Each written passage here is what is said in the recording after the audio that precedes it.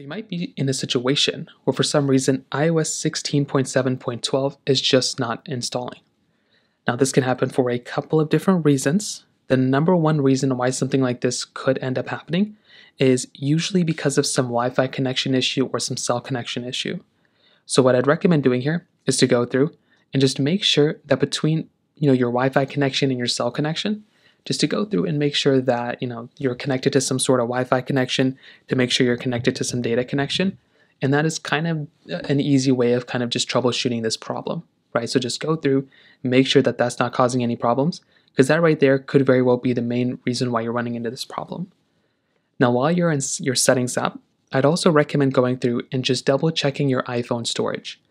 So tap inside of your general settings right here and then what I'd recommend doing here is tapping on iPhone storage. So tap on iPhone storage right there.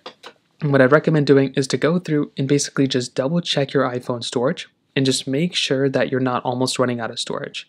Because a lot of the times, if you're almost running out of storage, that can be one of the easiest problems that you might be able to fix here.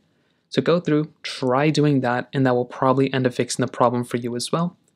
If that's still not working, you can try basically, you know, restarting your iPhone so hold the volume up button and the power button on the side, slide the power off, go and restart it, and for a lot of people that might end up fixing the problem for you as well. So that pretty much covers it up there.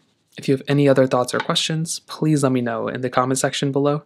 Hit the like button, that will mean so much, but definitely hit that subscribe button. More importantly than everything else, I love every single one of you guys. Hopefully I'll catch you guys in the next video.